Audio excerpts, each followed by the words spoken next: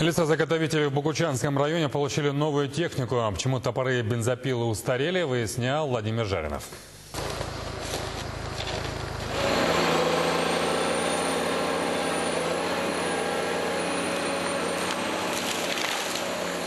Наступлением ночи в глухой тайге Богучанского района работы не заканчиваются. Лесозаготовка идет круглосуточно при помощи новой скандинавской техники, харвестеров, процессоров и валочных машин. Современные дровосеки кардинально отличаются от своих предшественников. Это даже не трактористы, а операторы. Они управляют компьютерами на гусеницах, приходят и уходят с работы с чистыми руками. Машины сложные, минимум несколько компьютеров в них стоит. Кабина очень удобная в этих машинах.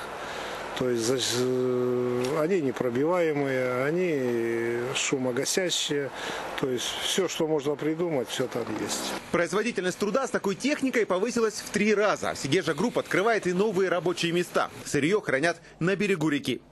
Сейчас на нижнем складе продолжается накопление лесоматериала, но уже весной, примерно в мае. Это происходит сразу после ледохода. Из бревен формируют гигантские плоты и по Ангаре доставляют до Лесосибирского ЛДК.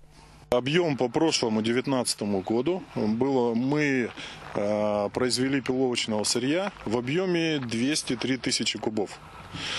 А, и этот же объем был поставлен плотами на э, ЛДК номер один в город Лесосибирск.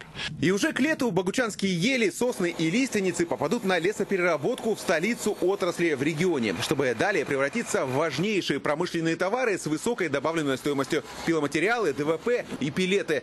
Владимир Жаринов, Александр Усатенко, Вести Красноярск из Богучанского района.